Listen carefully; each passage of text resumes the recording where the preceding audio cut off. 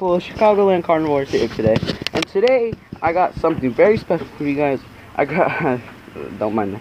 I got, what's it called? A new package. And it came today, what's it called? It was, um, June, it, it, uh, it got shipped on June 3rd. And it came like in two days. It was amazing, amazing quality. I haven't talked to the guy, and there's something surprise. There's a surprise in there for you guys. So I'm gonna open this up and tell you what it is. I'm gonna put my name right there, Hey. So we're gonna open this up. Hello. I'm say hello. Yeah. Oh, oh yeah. If you guys don't know, uh, I'm gonna transplant it inside this little pot here. Um, they, they seem pretty small, but I don't know. I haven't even opened it yet. But I'm just speculating. Let's see what's in there. Sorry for the wait. Guess it's, like those videos.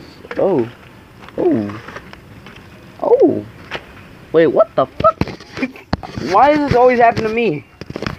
What the fuck? What the fuck? Oh my god. Look, look, I um so he it was initially three plants.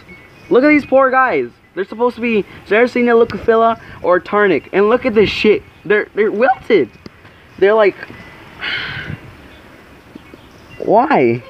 Look, there's smush. Most of these are dead. I'm gonna try to give this one a chance because I spent good money on this. Fifteen dollars for this.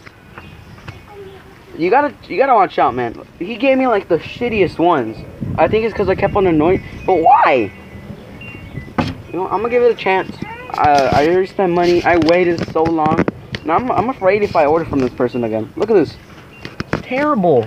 This one's basically dead. What's the whole point of shipping me this if it's fucking dead?